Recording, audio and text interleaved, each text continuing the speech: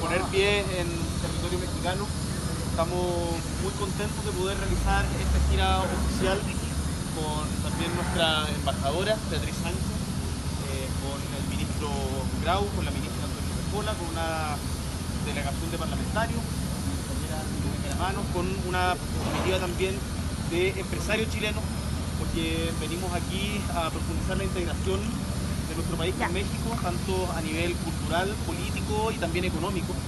México es un gran aliado de Chile, tenemos un tratado de libre comercio desde 1999 y además vamos a potenciar áreas específicas de la economía como es el turismo, del cual tenemos mucho que aprender recíprocamente.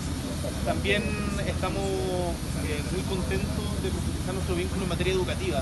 Eh, hay mucho que, que, aprender, que mejorar. Eh, tenemos un tremendo desafío post pandemia, cual nuestro gobierno quiere asumir con urgencia, queremos saber cómo lo han estado haciendo acá.